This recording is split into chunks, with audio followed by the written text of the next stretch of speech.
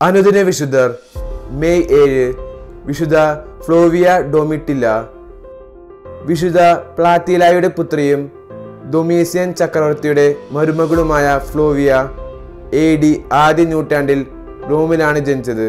അതിസുന്ദരിയായിരുന്ന അവൾ ഔറേലിയൻ എന്ന യുവാവിനോട് വിവാഹ വാഗ്ദാനം ചെയ്തിരുന്നു.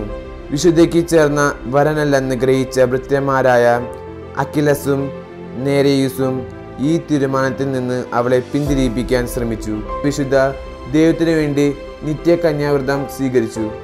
ഫ്ലോവിയായെ പിന്തിരിപ്പിച്ച ഭൃത്യന്മാരെ ഔറേലിയൻ വധിച്ചു. അവരുടെ മരണം കണ്ട വിശുദ്ധയുടെ വിശ്വാസം വർദ്ധിക്കുകയാണ് ഉണ്ടായത്. ഇതിൽ പ്രകോപിതനായ ഔറേലിയൻ വിശുദ്ധ വസിച്ചിരുന്ന ഭവനം അവർ അഗ്നിക്കിരയാക്കി. അഗ്നിജോയിൽപ്പെട്ട് വിശുദ്ധ ഇഹലോകവാസം വെടിഞ്ഞു.